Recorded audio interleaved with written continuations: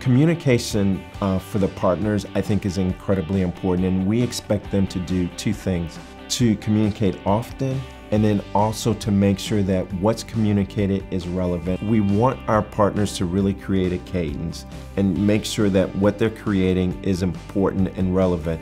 We also help our partners understand the different forms that can be leveraged for communication. So getting them out of the paradigm just thinking that they need to hit a send button on the computer on the computer and send an email. So it's email, it is blogging, it is what's on your on your web page, it is um, doing get different campaigns, it is doing webinars. So there's a host of different forms that can be leveraged to drive that communication message out to your end users and, and your customers.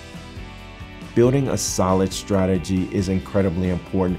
Most of the partners that I talk to that don't do well, a large part of the reason is they just don't have a solid strategy in place or they don't stick to the strategy they've put in place. You've got to build a strategy, then you've got to give it time to be successful. But then you also have to have some agility built into the process to understand if there's certain pieces or components that are not working that you have the ability to, to change them out and put something else in its place.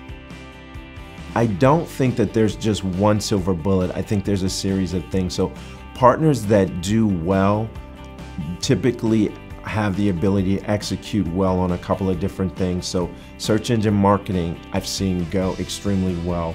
EDM campaigns that are followed up with telemarketing activities.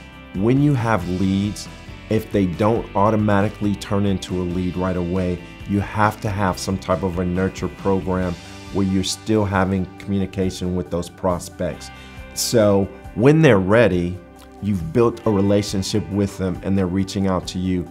More often than not, what I see is that a lot of partners give up too easily. If a lead doesn't turn into an immediate sales conversion, they walk away from it. That's not a good strategy. So making sure that you have some type of a nurture process where you can continue to follow up with that prospect is incredibly important and should pay dividends sometime in the future if you do it in the right way.